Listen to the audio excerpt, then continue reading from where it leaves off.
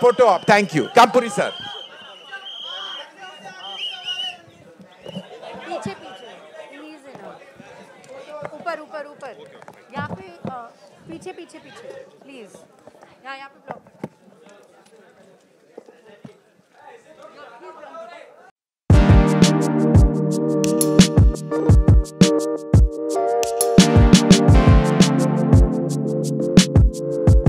Thank